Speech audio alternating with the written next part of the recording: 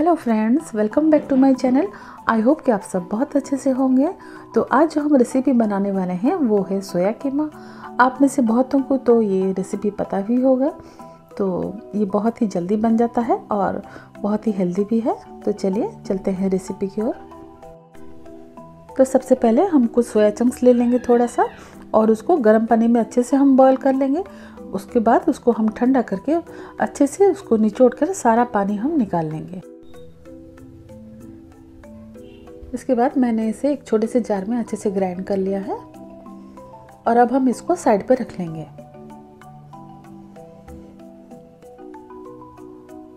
Pan को मैंने यहाँ पे गर्म होने के लिए रख दिया है। अब हम इसमें मस्टर्ड ऑयल ऐड करेंगे। आप चाहो तो कोई दूसरा ऑयल भी ऐड कर सकते हो। तेल को हम अच्छी तरह से गर्म कर लेंगे।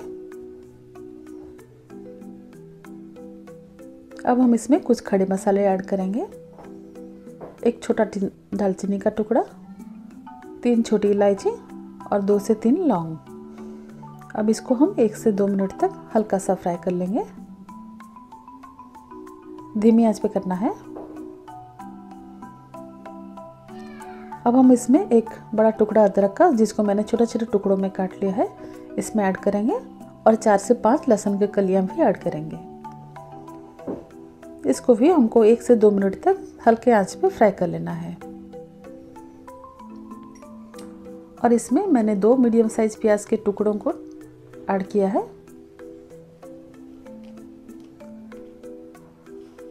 फाइनली चॉप नहीं करना है, थोड़ा मोटा मोटा काट लिया है मैंने। और दो बड़े टमाटर उसको भी मैंने टुकड़ों में काट लिया है। इसको हम अच्छी तरह से पका लेंगे।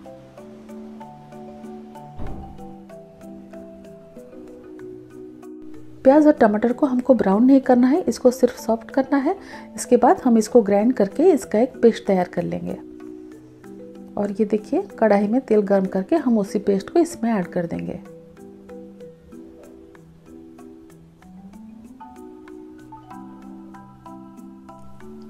अब इसको हम धीमी आँच पे लगातार 10 से 12 मिनट तक फ्राई करेंगे। जब तक ये थोड़ा सा सुखाना हो जाए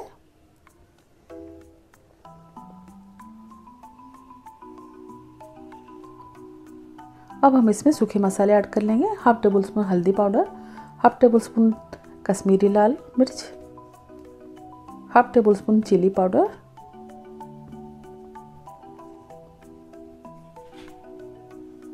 थोड़ा सा जीरा पाउडर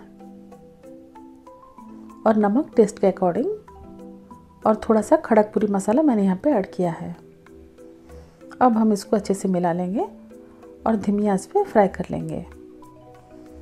बीच बीच में इसको हमको चलाते रहना है ताकि ये नीचे से लग ना जाए।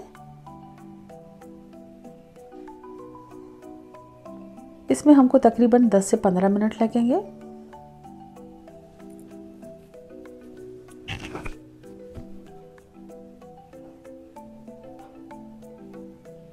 अब हम इसमें जो सोया को हमने ग्राइंड करके रखा था, इसमें ऐड कर लेंगे और अच्छे से मिला लेंगे।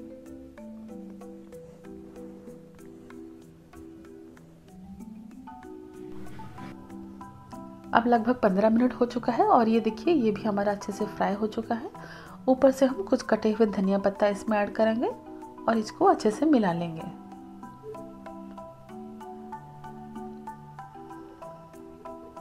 अब हम इसमें ऊपर से तड़का लगा देंगे। पहले तेल को हम गर्म कर लेंगे। उसमें थोड़ा सा कश्मीरी लाल मिर्च डालेंगे और कसूरी मेथी डालेंगे और इसको ऊपर से हम ऐड करेंगे।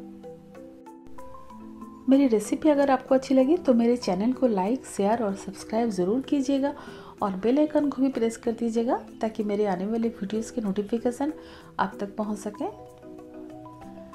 अब हम इसको सर्व कर लेंगे।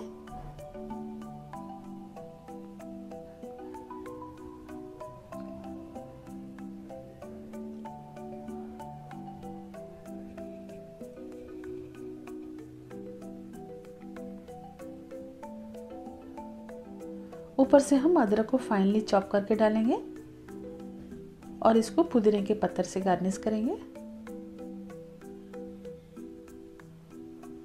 और ऊपर से थोड़ा सा सफ़ेद तिल हम इसमें स्प्रिंकल कर लेंगे।